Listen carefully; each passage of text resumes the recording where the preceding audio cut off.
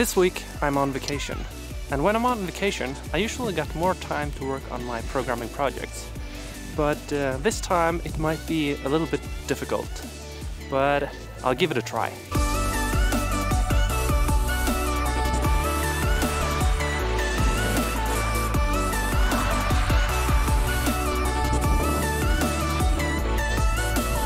So I started to think about how to define pipelines in code and I came up with these sequential and parallel blocks which you can nest arbitrarily uh, and with that with those kind of primitives you can create quite flexible uh, pipelines but it's not as flexible as I would like them to be.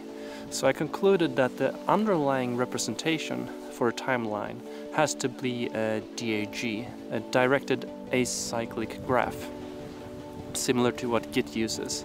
So I think that has to be the internal representation. So there are some some examples uh, which you cannot construct with the parallel and sequential blocks and where you need some additional syntax. So next I started to think about how to visualize a DAG uh, and I couldn't come up with an algorithm that draw them nicely.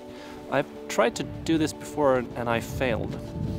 Uh, so now I'm thinking maybe some kind of constraint-based drawing algorithm can be used. So you like say like these two nodes should be close to each other, they should bind strongly uh, and then somehow you can iterate through uh, all the nodes and the placement will be automatically. Uh, I'm not sure if that'll work, but that's something I'm interested in exploring. So maybe that's something I will continue with next week. But now, more snowboarding. See you.